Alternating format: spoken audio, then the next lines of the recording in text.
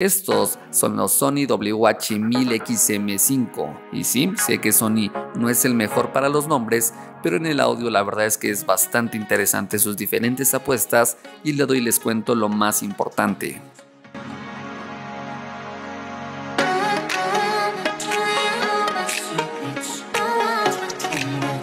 Para empezar, hay que entender para qué público va dirigido estos audífonos. Sinceramente, creo que la mejor descripción es para alguien que quiere algo profesional y a otro nivel. Sinceramente es de las mejores apuestas que podemos encontrar en audio, así que si te parece, vamos a hablar del diseño. En el aspecto exterior se ha visto modificado después de varias generaciones, manteniendo un diseño prácticamente idéntico y es que realmente no necesita de grandes cambios, me parece un concepto bastante bonito, sutil, minimalista y elegante. Lo primero que podemos apreciar es que Sony le ha dado unas líneas más redondeadas junto con una diadema que ahora es más estrecha que la del modelo anterior. Por la parte de arriba está cubierta por un suave revestimiento de polipiel vegana que ofrece una sensación bastante buena, muy cómoda y realmente se siente muy bien acolchonado. De igual forma las almohadillas son suficientemente cómodas para estar todo el día con ellos, realmente Sony le ha dado mucha importancia a este apartado. Contaremos con un peso de 250 gramos, evidentemente no son los audífonos más ligeros del mercado, pero no está nada mal. Hablando del estuche, sí que recibe algunos cambios, ahora es más grande, sin embargo sigue manteniendo esta sensación premium con muy buenos materiales de construcción.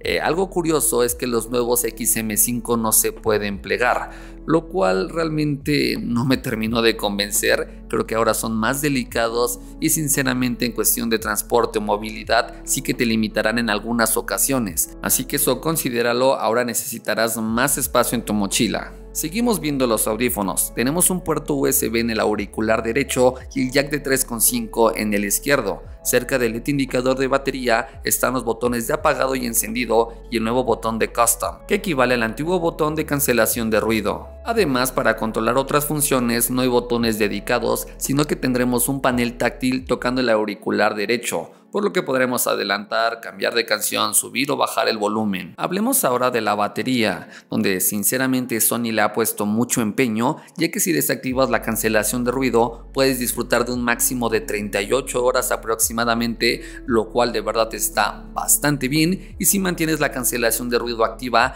te puede llegar a durar unas 30 horas aproximadamente, que de igual forma no está nada mal. De igual forma la carga rápida ha mejorado muchísimo, ya que con tan solo 3 minutos de carga te puede llegar a durar hasta 3 horas de reproducción. Así que de verdad Sony ha hecho muy bien el trabajo en el apartado de la batería. Hablemos ahora de la cancelación de ruido.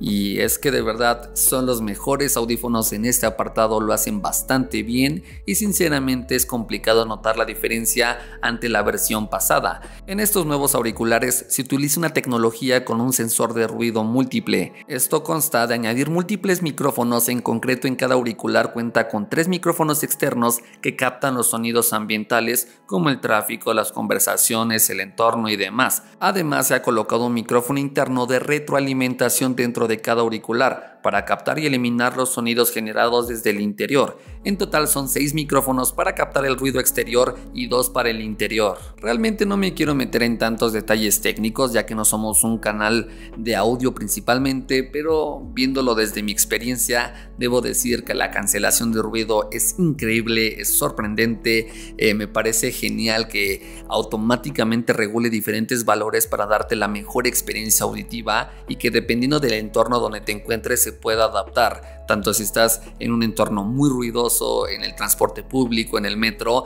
estos audífonos automáticamente hacen la mejor percepción con estos micrófonos y te dan de verdad muy buenos resultados. Hablemos ahora de la calidad de sonido. Se utiliza una nueva unidad de diafragma de 30 milímetros que incluye una cúpula rígida y ligera de material compuesto de fibra de carbono reforzado. Esto quiere decir que mejora la reproducción de los agudos y crea un sonido más natural. La respuesta en frecuencia va desde los 4 Hz hasta los 40.000 Hz mediante conexión por cable.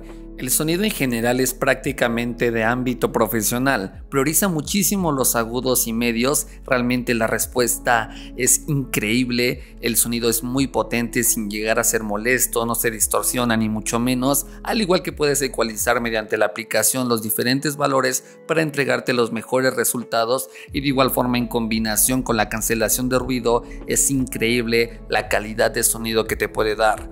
Cuenta con diferentes tecnologías y en conjunto con inteligencia artificial se analiza la música en tiempo real y los diferentes instrumentos individualmente para restaurar los sonidos de alto rango perdidos durante la compresión. Así que en general vas a tener una muy buena calidad de audio realmente profesional y lo que te puedes esperar por este rango de precios y en este segmento. Y bien, finalmente pasemos con el precio y las conclusiones, que es de nada más y nada menos que de 8 mil pesos mexicanos. Sí, no son unos audífonos baratos ni mucho menos, realmente van pensados para un uso profesional, para todos estos entusiastas del audio que quieran la mejor calidad posible. Realmente esta firma de Sony es de las mejores apuestas que podemos encontrar al día de hoy.